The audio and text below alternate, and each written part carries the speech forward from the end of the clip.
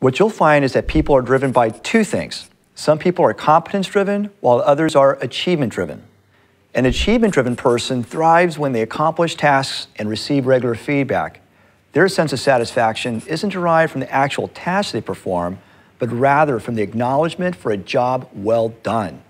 An example of an achievement driven person at our lemonade stand might be the cashier. They might be happy doing any task as long as they do it well. In contrast, people who are competence driven thrive from the pursuit of mastery in their profession. So they're most successful in an environment that allows for autonomy, where managerial feedback is focused on their hopefully ever increasing proficiency. You don't want this person to get bored. The master chef, who's responsible for dreaming up new flavors, is a good example of someone who might be competence driven at our lemonade stand. Now, here's where you enter the picture, coach. Whether your team member is achievement driven or competence driven, your job is to maximize, maximize your team's output. output.